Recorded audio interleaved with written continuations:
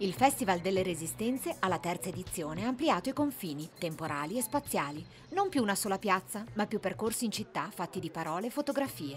Siamo stati interpellati da parte degli organizzatori dell'intera manifestazione con una proposta di presentare anche noi qualcosa dal punto di vista fotografico. Ovviamente l'impatto, essendo appunto un circolo fotografico, è stato una scelta dovuta prima di tutto a un aspetto estetico, un aspetto di eh, qualità fotografica.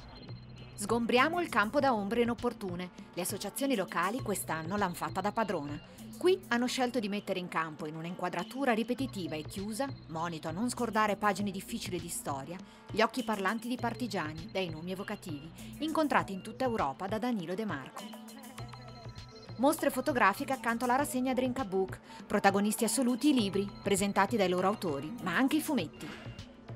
Abbiamo deciso di partecipare in maniera più ehm, diciamo, variegata, più complessa ed eh, far non più parlare noi che siamo gli esperti di fumetto che portano le nostre conoscenze, ma portare le nostre conoscenze a dei, un gruppo di ragazzi giovani che vanno dai 15 ai 23 anni coordinarli in un progetto facendoli lavorare sulla tematica della resistenza quotidiana dal loro punto di vista. Ed ecco Bla Bla Bla, un giornalino spassoso ma profondo, con storie illustrate di resistenza quotidiana. Emozioni e valori di singoli individui, racchiusi in scatti fotografici, hanno permesso alla gente di un quartiere di rivelare infinite storie che, intrecciate tra loro, hanno creato un nuovo album di una nuova più ampia famiglia.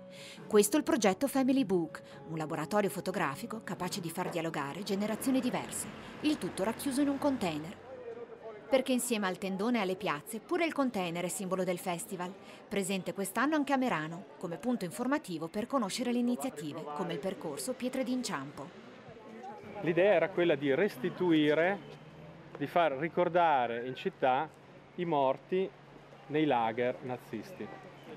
Occasione per una passeggiata anche nella memoria in ricordo dei deportati. È impossibile pestare sopra questa pietra senza chiedersi per quale motivo ci sono queste pietre. Un grande artista e le scuole di Merano hanno pensato di creare un percorso.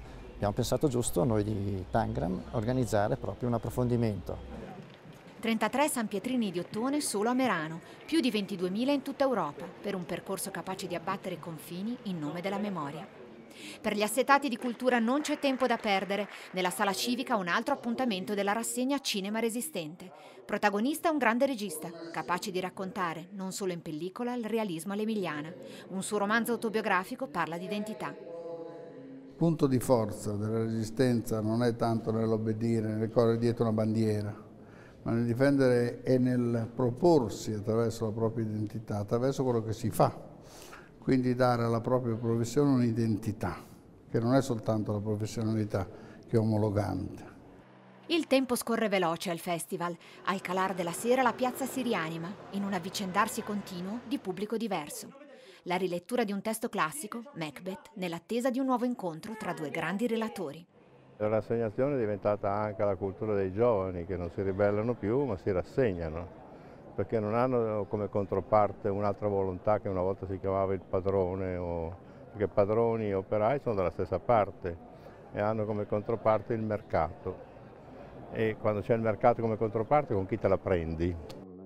E la piazza Matteotti ancora una volta si riempie dei cittadini attivi, di giovani pronti a riflettere, interrogarsi, ascoltare parole importanti come libertà e fede, in contrapposizione tra loro o sinonimi.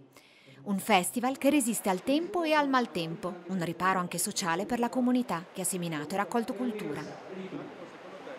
Forse la cosa più significativa di quest'anno è stato proprio il lavoro degli orti. Per, per, un mese Piazza Matteotti è stata occupata dalle cassette degli orti che hanno fatto gli abitanti, che è un modo bello di fare appunto tessuto sociale e di coltivare insieme anche i diritti di cittadinanza. Chi ha seminato bene, dando un esempio di come fare tv in modo indipendente, è Pif, testimone a suo modo di storie di giustizia e resistenza, pure lui partigiano, ma in senso metaforico.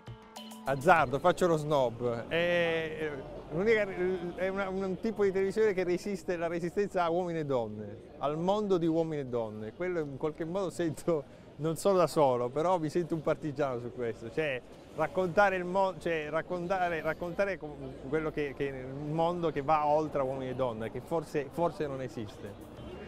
Dalla tv al cinema, con un film che parlerà di mafia presto in uscita.